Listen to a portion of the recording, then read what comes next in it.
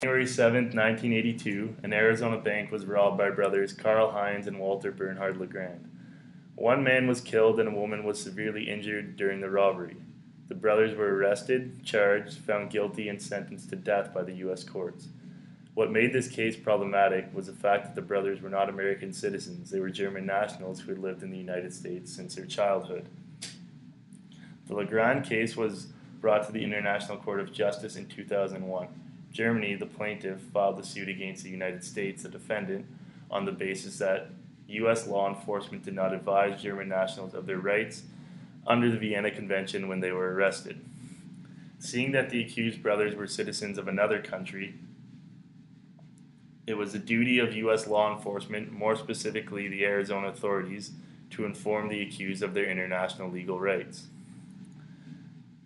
The specific law in question was Article 36 1b of the Vienna Convention on Consular Relations, which asserts that a state trying a foreign national or nationals in a death sentence case is obligated to inform the accused of their rights to have consular authorities informed. Therefore, the question was were the LaGrand brothers denied their right to inform German legal and judicial personnel of their charges? The United States argued that their domestic laws should take precedent over the Vienna Convention. They felt as if the International Court of Justice was acting as the ultimate court of appeal for domestic United States criminal matter and were therefore interfering with a domestic issue. The United States also argued that the submission was inadmissible because they waited until the night before Walter LaGrand's execution and were not given adequate time to contest um, or comply with the provisional measures.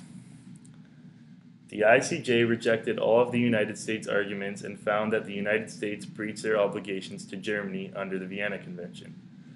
By, by not adhering to the Vienna Convention on consular notification, the United States did not only violate the individual rights of the LaGrand brothers, but also failed to provide an opportunity for judicial review of the foreign nationals' convictions and sentences.